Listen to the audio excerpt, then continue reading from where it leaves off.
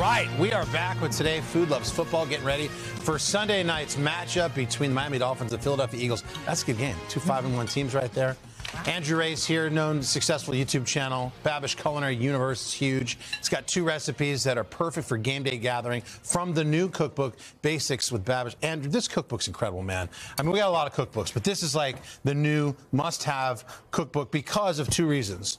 First of all, it's not just recipes, you're learning techniques. Hmm. Second of all, in the culinary world, it seems like everybody on social media is quick to put out what looks perfect. No one ever screws up. And this book leans into the idea of screwing up. Yes. Exactly. Everything I know about cooking, I learned from making mistakes. Ah. So I wanted to make the readers a little bit more comfortable with making mistakes and seeing them as learning opportunities rather than failures. I love that. Yeah. It's fantastic. So congrats on the book. Thank you so much. Go pick it up. So let's start with Miami. We think of Miami. Where are we going with the quesadillas here, huh? Well, I mean, yeah, no, so I picked a couple recipes that I thought would be great for game day. So we're starting with some really easy chicken quesadillas. All right. Uh, Miami, you know, the perfect poolside food. If you're if you're ordering food poolside, I love the quesadillas. Yes, so me we're gonna too. start there.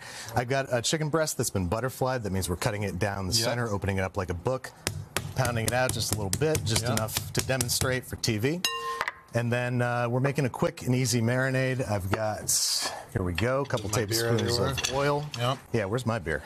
Um, I got you. Oh, there we go. Yep. Okay. Cheers. You guys, you guys think of everything. Cheers.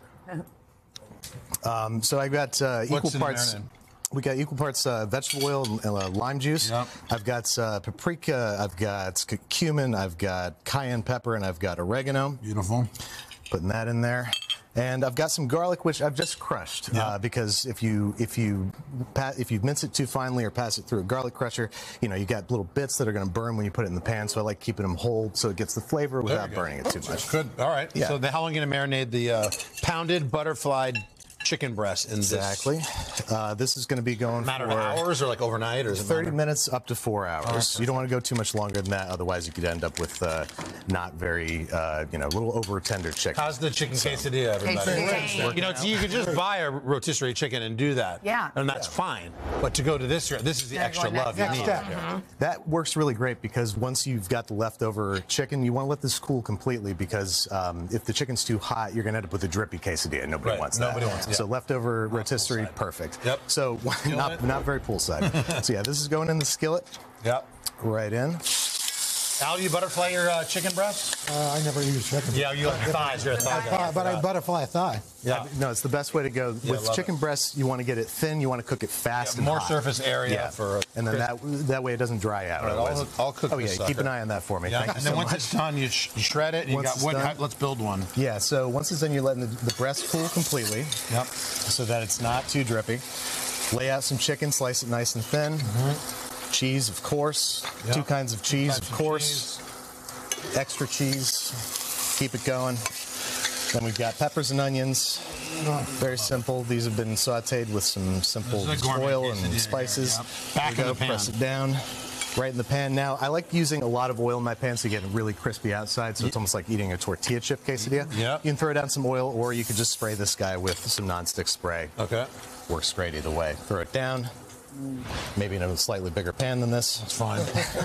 so this will get crispy. You don't have to cover it or anything like that, right? To get extra melty. And then serve it up with mean, your favorite toppings. That there is it goes. beautiful. All right, we got about a minute Not and a long half at all. for Philadelphia. Here we go. For Mike Feldman's Eagles, Savannah. Big game, really important game. What are we doing here? Philly cheesesteak? Take on. Got to do Philly cheesesteak. Yep. So we're sauteing peppers and onions in this pan over here. Yep. We'll just get that going just so we Throw pretend them that we're doing it. Oh, thank you very much. Got it. All Second right. this up. Then once those are sauteed, cooled, we're going to lay them out on a piece of flank steak. Now this uh, flank steak has been butterflied as well. Oh, wow. That means we're, we're, we're cutting it right through the center, opening it up like a book, pounding it out slightly, Mm-hmm. and then we're lining it with all of our beautiful toppings. Mm-hmm.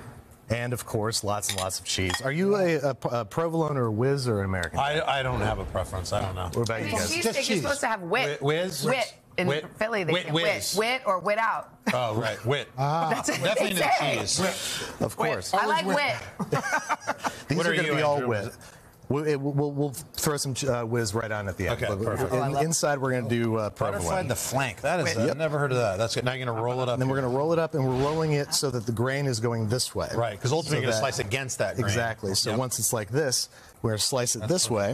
You Yep. it? Oh, yeah, you did. Yeah, it tied it off So like that a pinwheel. way, the grain of the meat is running the this way. It's nice and tender. If you got it going the How's other the- way, how's it's going to be It's chunky. amazing. Is it delicious? Mm-hmm. Throw it down. Right up. grill it. Wait, when would you do the minutes on each whiz side. when you're doing that? I mean, I, I, Thank you to Andrew, guys. Today.com slash We'll food. You talk can get later. all the recipes there if you guys can just discuss this later. It'd be great. The book is incredible. Basics with Babish. Pick it up. Available for pre-order. In stores next week.